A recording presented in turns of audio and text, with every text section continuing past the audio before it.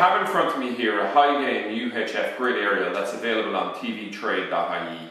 Now, it's the highest gain aerial that's on our website, and the three component parts that make it up are the dipole, which you can see here, which actually pulls in the signal. We have a deflector grid that sits at the back of the aerial that is capable of deflecting away unwanted signal. And also we have a bracket here that's actually used for mounting this onto a pole. Now in terms of the tools that we're going to need for the assembly here, I'm just going to quickly mention that we need a flathead screwdriver, which I'm using as pointer here, a snips, a 10mm socket and a ratchet, and also a gripper like this. Okay? So the first thing to note here is that it's possible to mount this aerial either vertically or horizontally. And the aerial by uh, default, this bracket here, comes in a manner that allows it to be mounted um, uh, vertically. But most transmitters in Ireland, with the exception of one in County Louth, are all actually horizontal. So the first thing I need to do is just come along here. So you can see here that the bracket is here and the angle bracket is 90 degrees to it. Okay, here, what we want to do is just rotate that a further 90. So what we'll do here is we just undo this wing nut, we push through here, we slide this back in.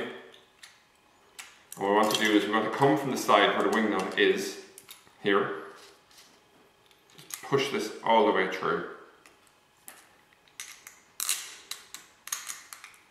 And we'll see here as we push this in, there's actually a square part to this bolt here. So when we push it in, it locks in and it means we can simply hand tighten and the, the, the bolt won't move this. Okay? So you can see that there. So I've locked that in there. I'm not going to tighten it in the whole way and I'll show you why in a moment.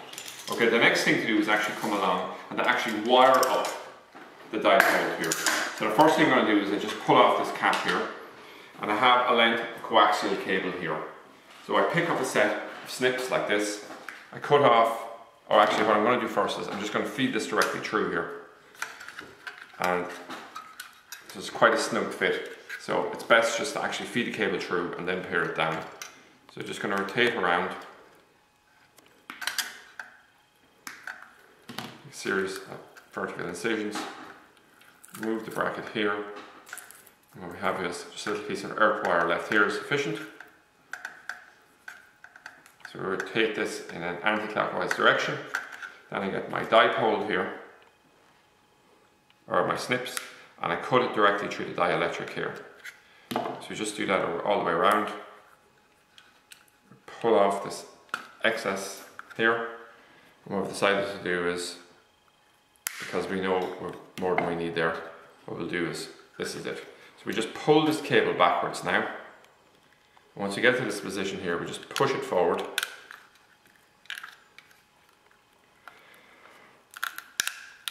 So what we have here now is this core wire is feeding into the center here. And I'm just going to use this flathead screwdriver to screw it in. For this part, you could actually use a Phillips part.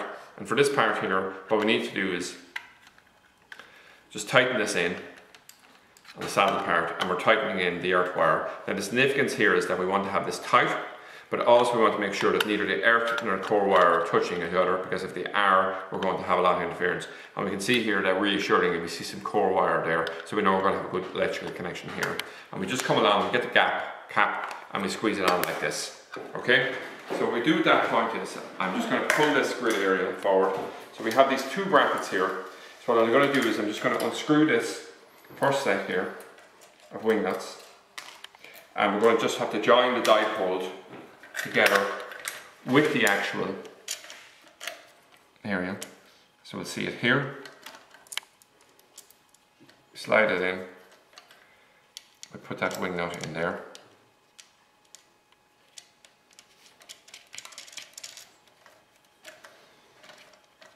And we could repeat the same process on top here just to give a bit of stability to this as we're tightening it in. And we'll just bring back the aerial here. You're going to move these excess tools out of the way and just rotate this around hopefully to get a better view. And we're just going to repeat here, take off this particular wing nut and the washer that comes with it.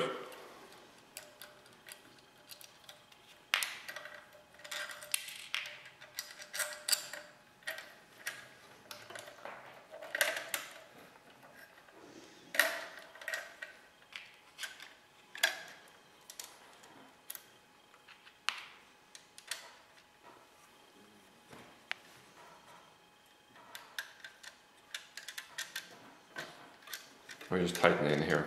So what we can do with this thing point here is we'll just go from corner to corner with a flathead screwdriver and hold the nut in or the, the, bolt in position and then tighten in the wing nuts, maybe using the spanner. Now, just for the brevity of this video, I'm just going to hand tighten at this point here. But you can see here, this is obviously where we put in the flathead screwdriver right here. Okay, so we have top and bottom done now. So the final um, stage of the assembly is I just turn over the aerial like this. What I'm going to do now is I'm just going to grab this bracket here. So what we have here is loosen it off.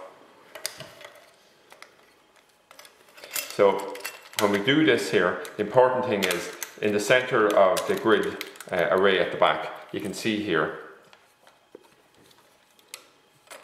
that there's different gaps, but the wide section here is where we just bolt this on, okay? So that's it, that's tightened in quite well. Once again, we could use um, something like the, the, the, grippers that I have there if you want to rotate it further and slide it along. And what we'll do here now is, I'll just loosen this off here, like this.